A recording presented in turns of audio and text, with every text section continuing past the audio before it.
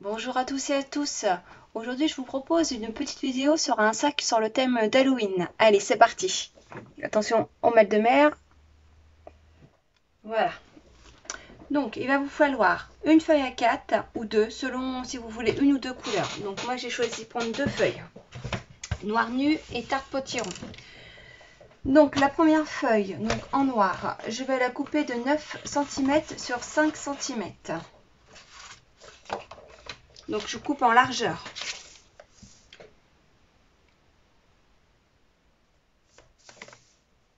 Donc j'ai coupé 5 cm pour perdre le moins possible. Premièrement. Deuxièmement, 9 cm. Et ceci me servira pour la décoration après.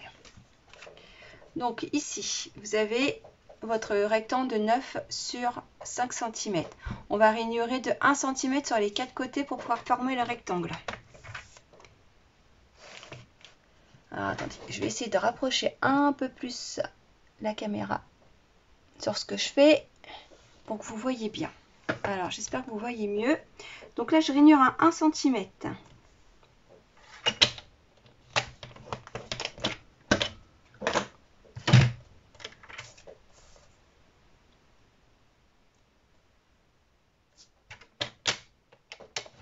Alors, on ne se trompe pas de curseur. Est-ce qu'il y en a un qui coupe et un qui rainure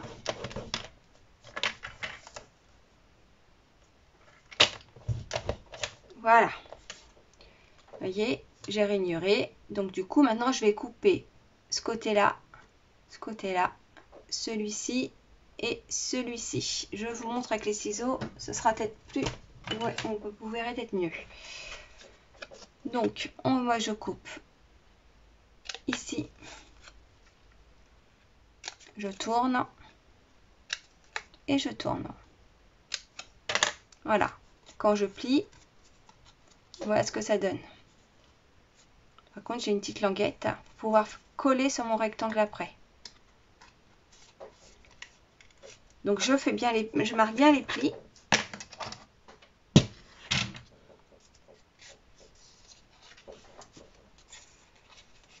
Et je vais passer ce petit rectangle sous la, avec la bichotte avec le piloir poil d'araignée.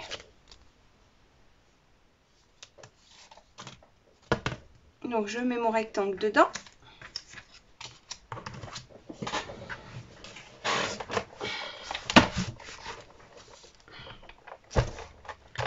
Donc j'enlève cette couche là. Alors, j'ai pas encore la nouvelle Beach Shop, mais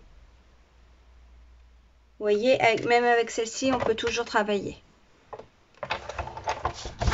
Mais bon, j'ai hâte d'avoir la nouvelle quand même. Voilà. J'enlève et je remets ça en dessous pour pas perdre mes affaires. Hop, je remets ça à sa place. Voilà, regardez ce que ça fait je ne sais pas si vous voyez très bien. Voilà, on voit les marques de la toile d'araignée. Après, on peut choisir soit côté, ce côté-là, ou sur l'autre côté. Alors, après là, il faut retrouver nos plis. Comme la bit shop est passée par-dessus, ça nous enlevait un petit peu les plis. C'est pour ça qu'il faut bien les marquer dès le départ. Voilà. Donc moi, je vais garder le côté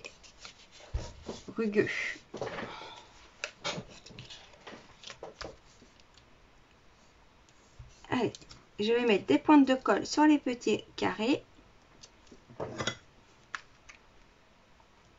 Alors là, j'ai du noir sur du noir, vous voyez peut-être pas grand-chose. Voilà, je vais mettre du blanc, vous voyez peut-être mieux. Voilà. Donc là, je mets ma colle. Ici, je mets ma colle. Comme ça, j'assemble les deux morceaux ensemble.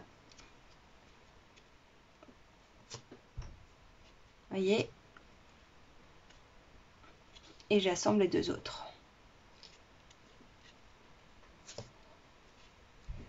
Voilà ça forme déjà une partie du rectangle. J'en fais autant pour l'autre côté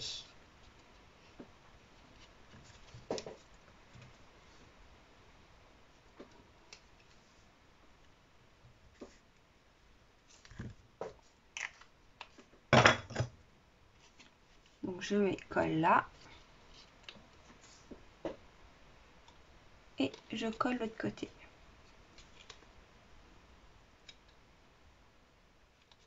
Voilà, le petit rectangle est fait. Alors, vous voyez, là, ça a bougé, donc je peux rectifier encore.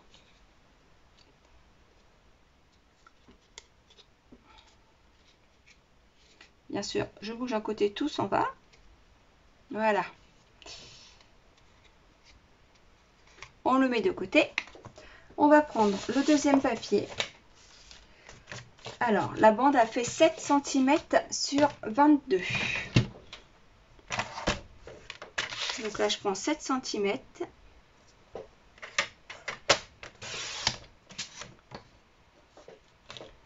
« 22. Donc je déplie la petite languette. Hop, et là j'ai 22 cm, sans problème.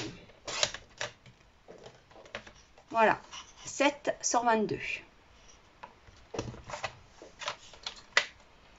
Alors, nous allons faire la décoration sur le papier avant de coller avec les tampons parce qu'après on ne pourra plus tamponner. Donc, j'ai choisi de prendre la toile d'araignée, la citrouille et la chauve-souris. Dans un premier temps, tac, alors je vais prendre ma mousse, je sais pas où je l'ai mis, là. Prendre la mousse pour bien tamponner. Comme ce sont des tampons blancs, ça sera plus facile.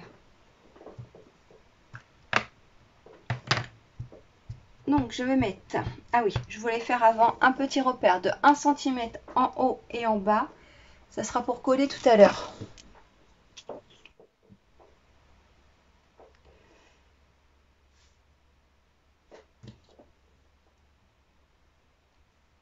Tout à l'heure on fera des bandes pour cacher un peu certaines choses pour décorer le bas et le haut du, panier. Comme ça, je sais à peu près où je peux mettre mes tampons. Donc, je mets trois chauves-souris du premier coup, tous tout de suite. Voilà, et je nettoie bien avec ma chamois. Ça, c'est très pratique. On la mouille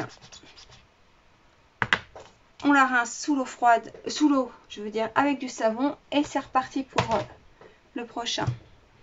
Après, la toile d'araignée. Donc la toile d'araignée, j'en mets trois aussi.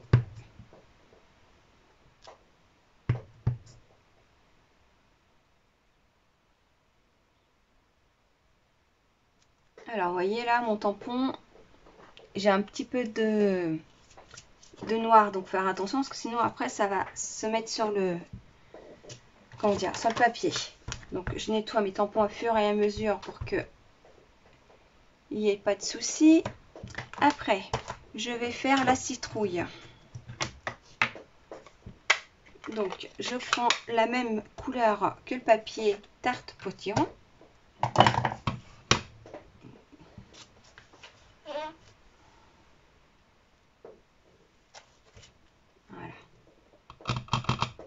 j'en fais trois.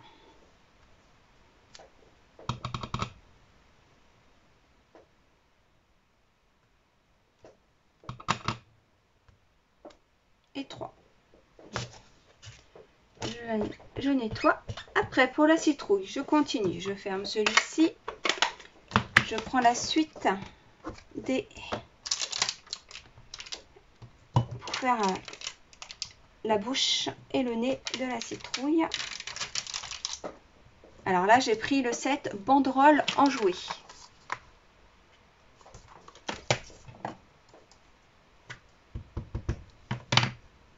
Donc là, je fais le nez de la citrouille et les yeux. Euh, pas le nez, la bouche et les yeux, je veux dire. Pour que ça fasse Halloween quand même. Que la citrouille, ça fait plus l'automne. Je vous montre voyez? Voilà. Ça, c'est la première partie pour la décoration. Après, je me refais de la place. Nous allons reprendre ce même papier avec notre rectangle et nous allons le coller. Alors, je devais décaler un tout petit peu pour que on puisse cacher euh, un peu. Donc, hop, on fait le tour. Et on collera. Alors, je mets de la colle en premier lieu sur le rectangle. Alors là, j'en mets un peu beaucoup parce qu'il y a comme des trous avec... Euh, comment dire? Alors, en collant, il ne faut pas se tromper de sens. Donc, j'ai dit j'allais décaler un tout petit peu pour que ça fasse... Voilà. Que ce soit plus facile. Alors, j'appuie, j'attends un petit peu. Comme il y a des rainures avec la toile d'araignée, c'est un tout petit peu de mal, un peu plus de mal à adhérer. Donc, je continue à mettre la colle sur le côté. Alors, je m'assure que ce soit bien aligné. Sinon, après, je pourrais pas poser le sac.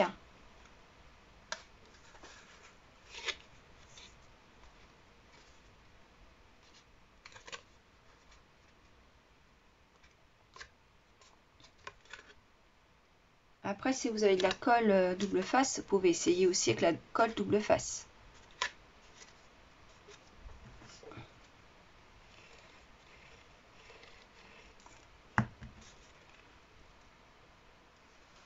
Voilà, je continue, j'appuie bien pour que ça adhère. En essayant de ne pas trop me mettre de colle partout sur les doigts.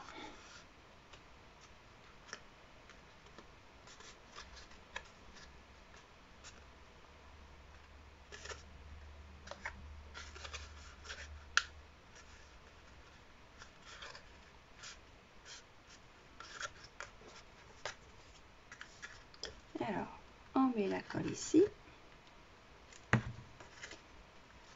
Et je finis mon, mon tour.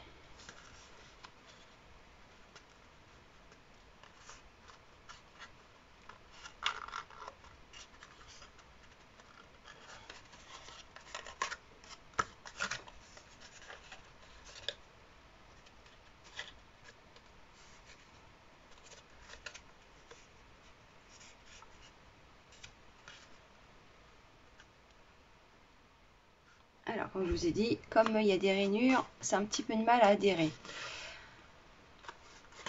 Donc, il faut rester patient. Et ça va coller.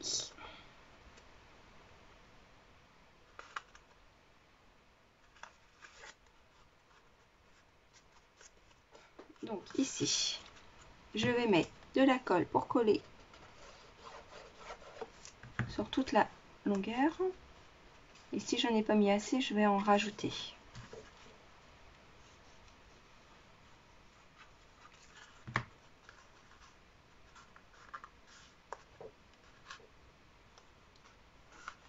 Voilà.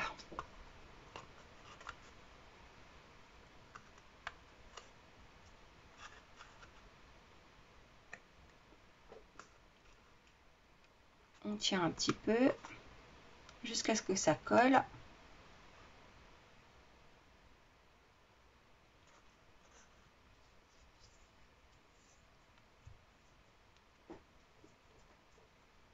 J'ai de la colle sur les doigts, bien sûr ça change pas. On va laisser. Oups, j'ai vu qu'il y a une petite erreur. Hop, je rectifie.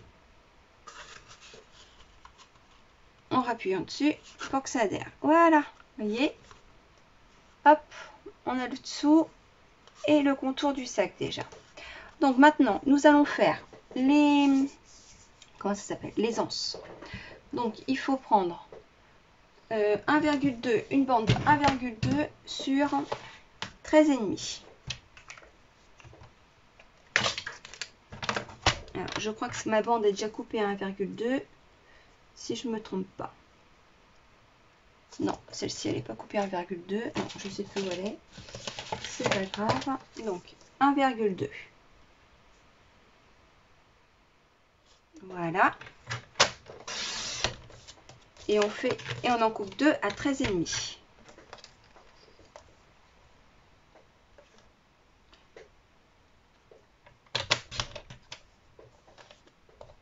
Une. Et voilà la deuxième. Voilà. Alors, pour les bandes, pour les anses, je voudrais que il y ait les toiles d'araignée qui apparaissent dessus.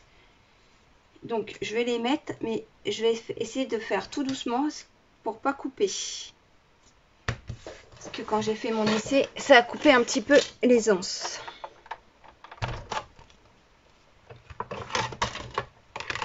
Je fais mon sandwich et je passe. Excusez-moi, je fais de la main gauche pour vous faire voir un peu. Vous voyez quelque chose? Voilà. Hop, j'ai passé qu'une fois pour me dire que ça va être moins les abîmer.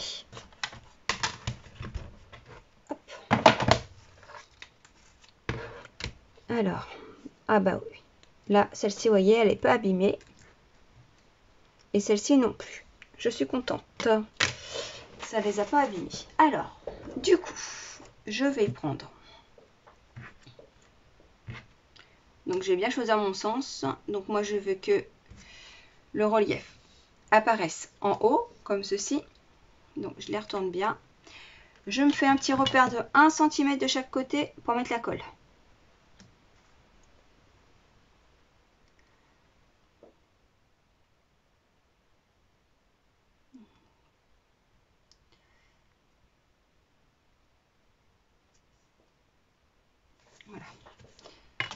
Pour vraiment mettre la colle, pour pas que j'en mette partout, que je me trompe pas de... Voilà, 1 cm de chaque côté.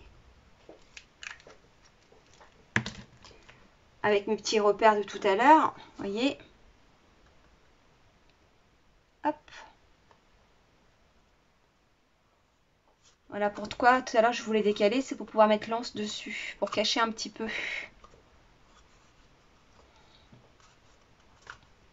Et de ce côté-là, mon repère, ben, je l'ai pu. Alors, en espérant que je ne me sois pas trompée avec la... Hop. Je vais regarder avec la règle du coup. Ça a l'air d'être bien. Voilà, je colle bien. La première, la deuxième. Je refais pareil, mes petits repères pour mettre la colle.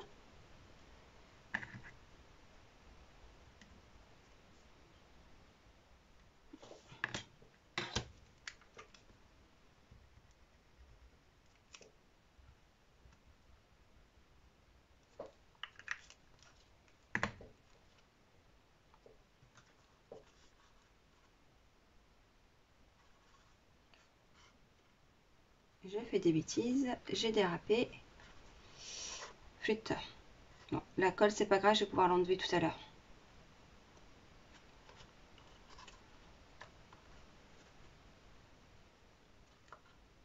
Ah, flûte. Il veut pas. Quand ça veut pas, ça veut pas. Et voilà, là j'ai mon petit repère, donc c'est facile. Je me colle dessus.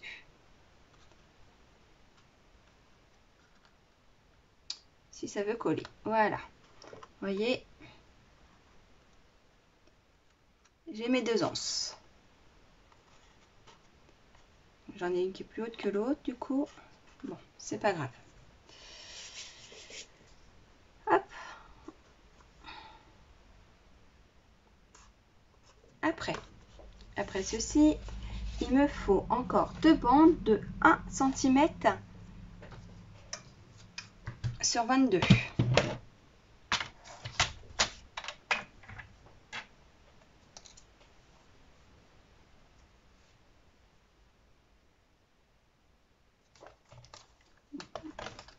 Je vais prendre celle-ci, ça va être plus facile. Pour être sûr qu'elle fasse bien 1 cm, il m'en faut deux. Voilà une.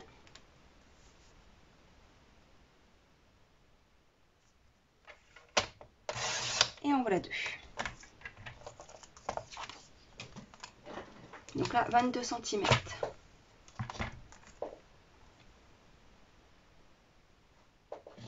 Alors, je me positionne à 22 je coupe. Alors, c'est pareil, je vais vouloir mettre des toiles d'araignée dessus. Du coup, je vais leur passer aussi à la vite shop. la machine à découper. Alors, je la reprends. Donc, comme là, mon plioir n'est pas assez grand, je vais le faire en deux fois. Donc, j'installe ces deux-là.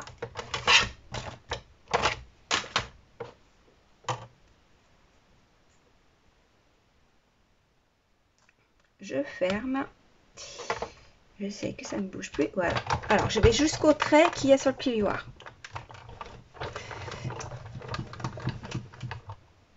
Euh, non, je vais plus loin. Parce que comme je veux pas repasser deux fois de suite dessus pour pas que ça coupe. Voilà. Après, je retourne pour être sûr dans le bon sens.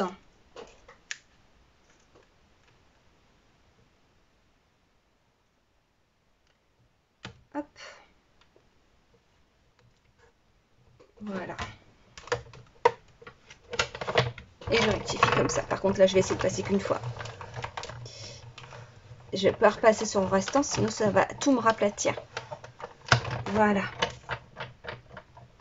Je suis pas allée assez loin.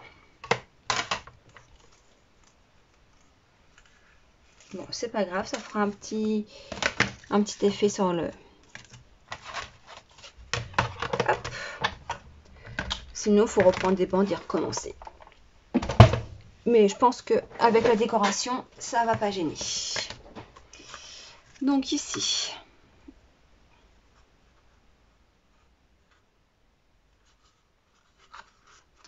Alors, comme je vois, j'ai fait plus que 1 cm, du coup, vous voyez, ça dépasse. Ben, je vais refaire des bandes de 1 cm et demi. Pour être sûr que tout soit bien caché.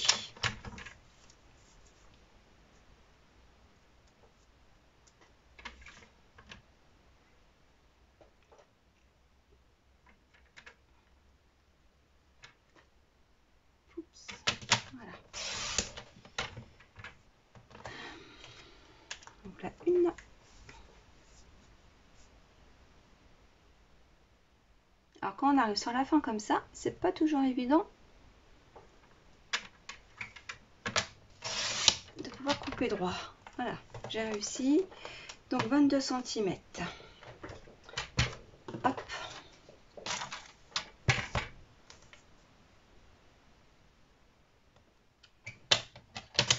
Comme j'avais raté mon plioir, mon pli avec le plioir, c'est pas grave, je recommence. Ça qui est bien que le scrap. Même une petite erreur, on peut rattraper. Alors, je reprends le piloir.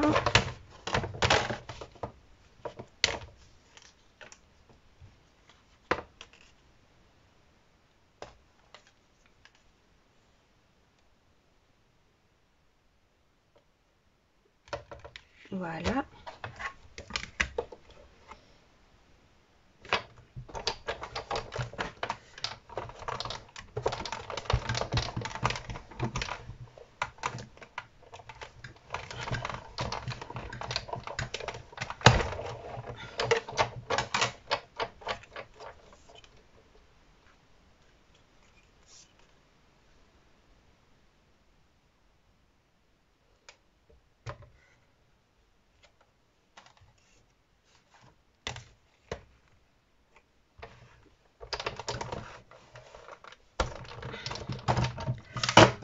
Mal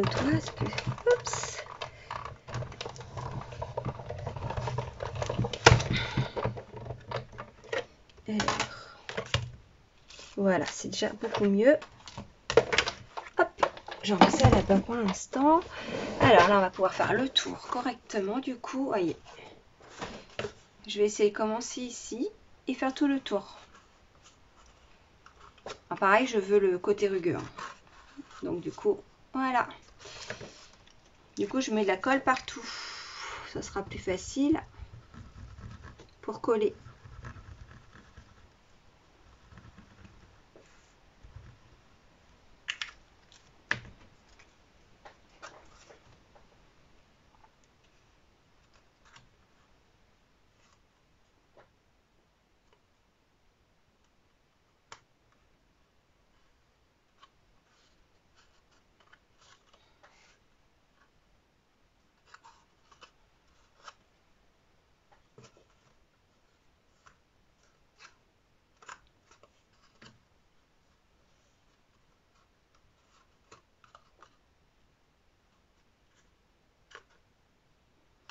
Voilà, j'ai collé tout le tour.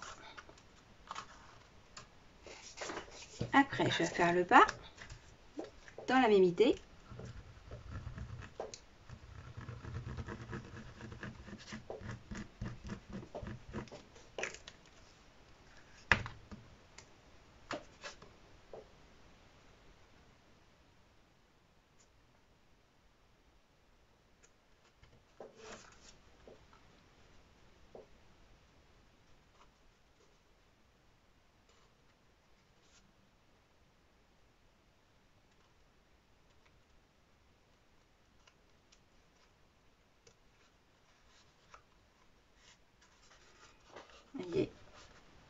Pareil, comme il y a plein de rainures en dessous, c'est plus difficile à bien coller.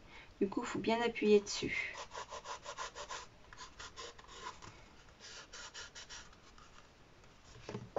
Euh, je vais rajouter une pointe de colle. Voilà.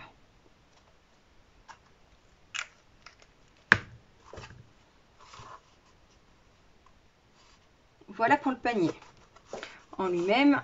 Voilà ce que ça donne. Alors maintenant, je vais faire des petites araignées que j'ai dans le set de tampons Little Sweet. Hop, j'ai le die qui est ici. Je reprends la la machine à découper plutôt maintenant. Alors, où est-ce que j'ai mis mon papier? Là. Donc ici, je vais remettre ma première plaque. Je vais mettre, je vais faire trois araignées.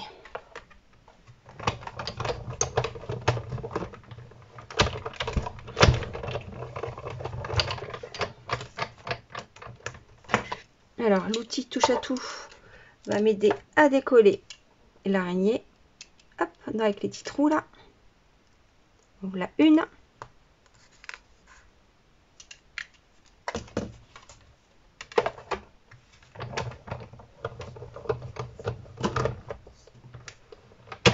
Voilà deux.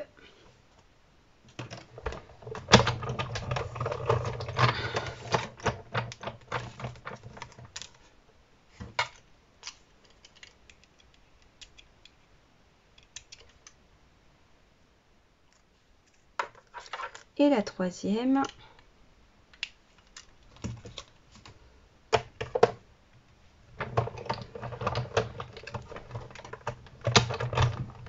Avec une feuille euh, noire nue et une feuille potiron, j'ai pu faire deux sacs en tout.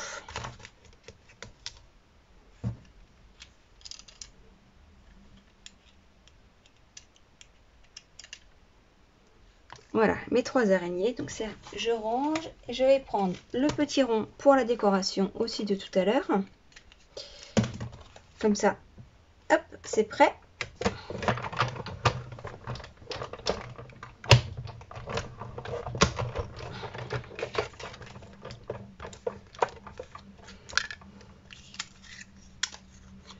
ce que donne. Oups, je suis où? Là. Les araignées, je vous ai pas fait voir. voyez? Je sais pas si vous voyez bien. Je vais m'asseoir et moi j'aime mieux voir ce que je fais. Voilà. Alors, je sais pas si vous voyez, elles sont... Ils ont des traits sur les araignées. Si je vous mets la main à l'envers, c'est sûr que vous n'allez pas voir. Je suis peut-être trop près.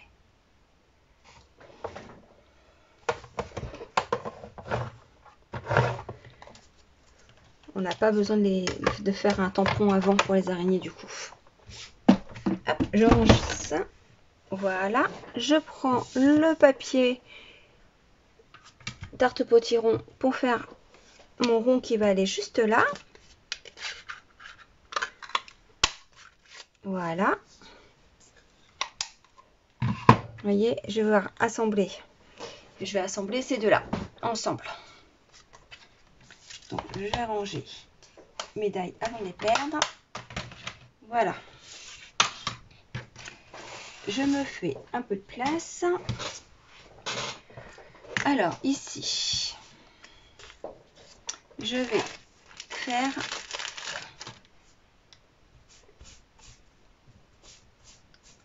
comment ça s'appelle? Ah, j'ai un trou. Je vais embosser à chaud, excusez-moi. Un embossage à chaud. Donc, je prépare mon matériel. Ça, faut que ça soit bien chaud. Je vais prendre la Vestmark, le tampon. Alors, je vais mettre délicieux frisson comme message.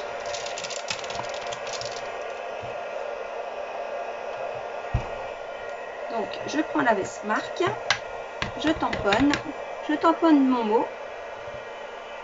Alors, j'aurais dû prendre le tapis en dessous pour que ce soit bien mieux encore tamponné. Après, je vais prendre la poudre embossée noir miroitant. Alors, celle-ci, je ne sais plus si elle est vraiment encore en vente. Hop. Sinon, on peut faire d'autres couleurs hein, pour embosser. je mets de côté pour pouvoir reprendre ma poudre. Voilà. Alors, pour embosser, du coup, je vais mettre pour protéger? je, vais je, vais laisser ma feuille parce que je sais que mon, mon set de bureau, oups, mon set de bureau, il, il aime pas trop la chaleur. Donc, je prends ça pour tenir, pour pas que le papier s'envole, et je j'embosse à chaud. Voilà, mon fer, il est bien chaud, et ça va embosser plus vite. Alors, pas le faire trop longtemps, parce que sinon, ça peut... ça pète. Voilà. Regardez.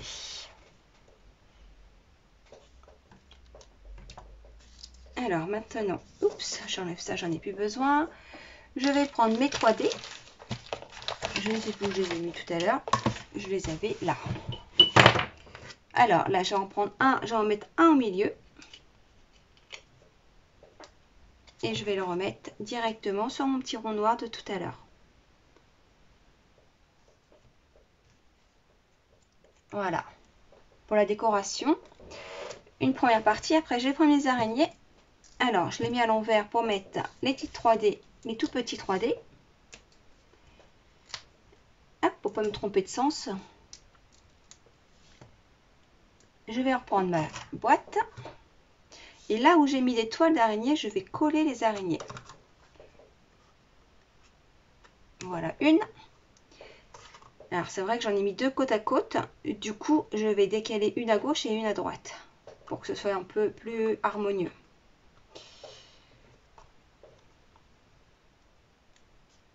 On va dire comme si celle-ci, elle voulait aller euh, sur sa toile d'araignée. Vous voyez? Et ici, je vais coller. Ici. Comme ça, je cache bien le... Pardon, excusez-moi, je n'étais pas dans le champ. Là, je vais coller ici pour bien cacher. Donc voilà, euh, j'ai vu qu'il y avait un petit souci sur la fin de ma vidéo, donc euh, je vous remonte la boîte le sac terminé. Donc vous voyez là, le, la colle qu'on voyait le trait tout à l'heure. Du coup, j'ai collé le petit rond dessus et on voit bien la chauve-souris. Donc voilà, le sac terminé. J'espère que cette vidéo vous a plu. Euh, comment dire euh, Ah oui, si vous êtes intéressé euh, par un atelier, j'en fais un le 19 et 20 septembre à partir de 14h30 sur le thème d'Halloween avec une petite boîte de ce style-là. Je vous montre, elle n'est pas faite du tout. Donc voilà, on fera une petite boîte comme ceci à décorer sur le thème d'Halloween. Si vous êtes intéressé, vous pouvez me contacter au 07 85 55 51 97. Ceci me permettra de pouvoir respecter les gestes barrières s'il y a beaucoup de monde. Je vous remercie. Au revoir. À bientôt.